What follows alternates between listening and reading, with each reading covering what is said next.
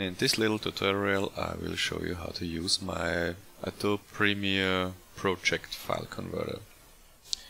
So you can use your newest Premiere which I'm loading right now.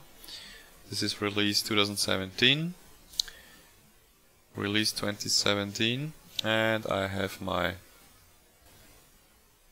project here, a little test project which I edited and make my editing ready.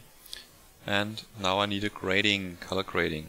And now I want to grade uh, my project in SpeedGrade but this is not possible with uh, Premiere CC 2017 version. But my little converter makes it possible. So I save the project, close the project file, the, close the project in Premiere but leave Premiere open. No. I just lay it down.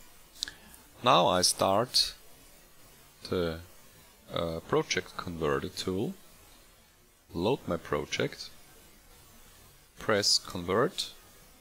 Now it is converted to the version 2015.2. This is the latest uh, the latest version of SpeedGrade available by Adobe. Every time I press convert or reload and convert, uh, the project file is being backupped in a backup directory in the same folder where the, the project file is located. Uh, down here you see a little uh, lock uh, window where you can see what's going on while converting the file, the project file. Now you can, for a better workflow, you can just leave uh, the converter tool open.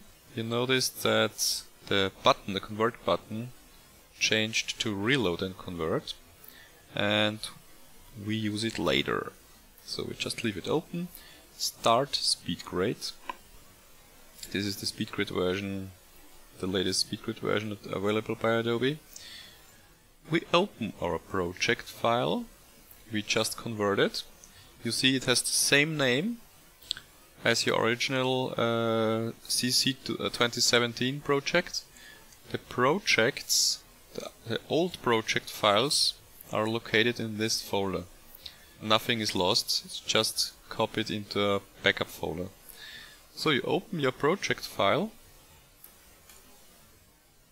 and your uh, Premiere Pro CC 2017 project opens just fine after converting it with my tool in SpeedGrades. 2015. SpeedGrade 2015.2. So now I can just make my color grading as you would normally grade your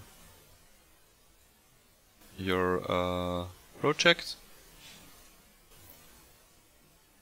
with all the neat little features which are available in SpeedGrade. So just a quick grade.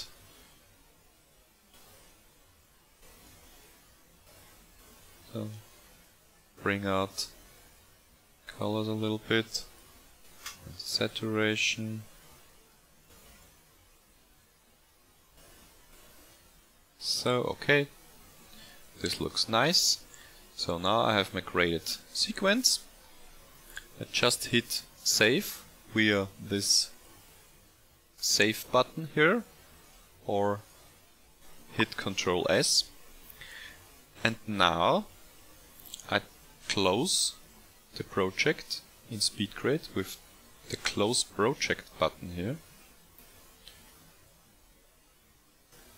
Play SpeedGrade down and with the converter still open hit reload and convert and it reloads as the button says, reloads the project we just created and saved in SpeedGrade, reloads the project, converts it to version 2017 and saves it.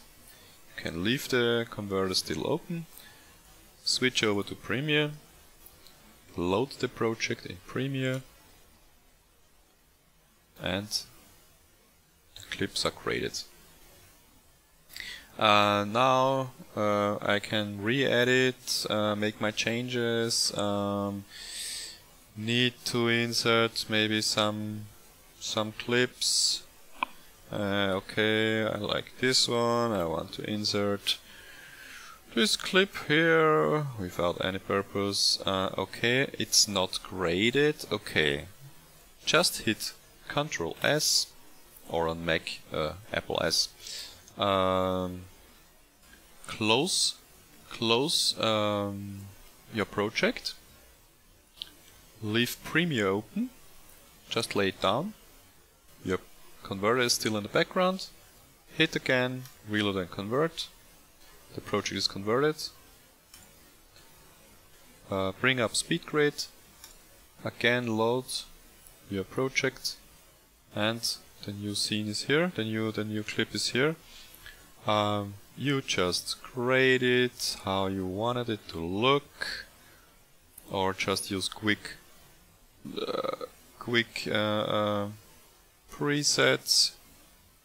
I don't know. I want to make my own grading.